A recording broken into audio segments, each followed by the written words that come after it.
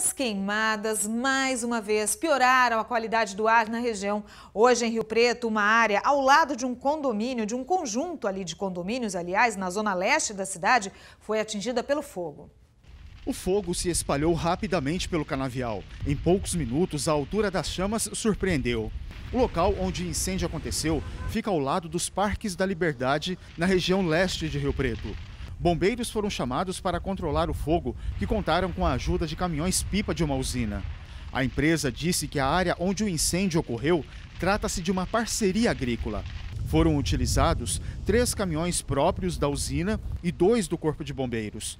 As chamas chegaram a queimar postes de energia elétrica e o fogo chegou próximo da rede de alta tensão, que fornece boa parte da energia de toda a cidade.